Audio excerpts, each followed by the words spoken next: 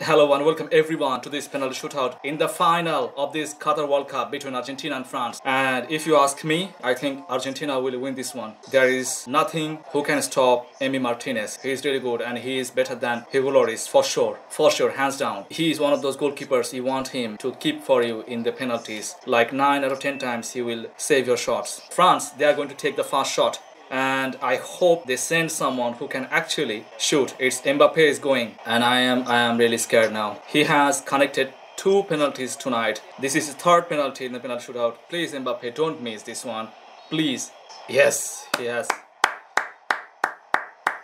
He has connected 1-0 for France. So the pressure is to Argentina. He connected that one. Leo Messi is going there to take the first shot for Argentina. And Lloris is there. Lloris, please save this one. Save this and save your country and win your country a World Cup. I think he will go to the left side of Lloris. He will score. He will score this one.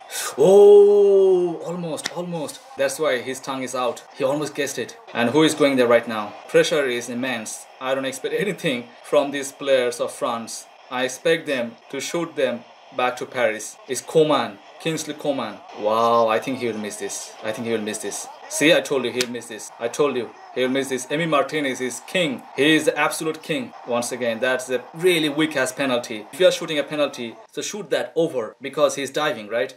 But he just made a mess of it. 1-1. Who is going there? Paulo Dybala. Lloris needs to save this one. But I think he will score. Dybala is quite good in penalties. Lloris, I don't expect anything to save. See, I told you, I don't expect any of the shots for Lloris to save. I don't expect Lloris to save anything tonight.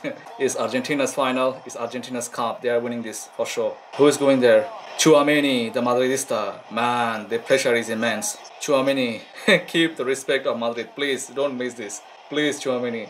Ah, he shot it outside. Uh, he shot the World Cup outside for France. That's why I'm telling you, I don't expect anything from France except that shot from Mbappe. Man, Tchouameni, Tchouameni. Ah, Paredes. Can Lloris do something? Can Lloris bring back France into the match? Can he do that? I think can't. Once again, he missed that 3-1, 3-1, just one shot. He just needs to save one shot. If Argentina can save this shot, they are winning the World Cup 2022. Can you believe that? Can you believe that? Lloris can't save for shit, man.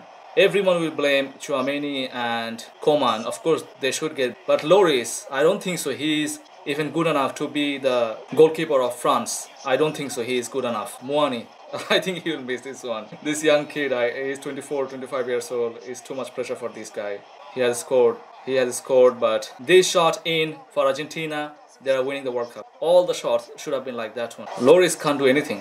Lloris is not a good goalkeeper. I am saying this for a long time. Is there not a better goalkeeper than Lloris? See, I told you, they have won it. They have won it. They have won it. They have won the World Cup. Argentina have won the World Cup. That's 1978. Congratulations. Congratulations to Messi, to Argentina for winning the World Cup. Unbelievable. This France team the amount of time they have come back, it's enough to say they have done well. They have tried their level best. Messi has won. The campaign has worked. The PR media has worked. As I said before the match started, doesn't matter what happens tonight. This man, this man is still the GOAT. Soon, he is still the GOAT, the greatest player of all time. But it's totally up to France. Not enough. Not enough. Disappointing because the first 80 minutes they had zero shots on target. Then in the last 10 minutes of the match, they woke up and did something. That's why they came back into the match. Then, once again, they went into hibernation in the first of the extra time. Then, for some parts, in the second half of the extra time. Then, once again, they got the third goal back. But Muani, for the last shot, he was selfish and he just shot that ball straight to Emi Martinez. I don't believe this. France was so bad. I don't know why Aguero is there,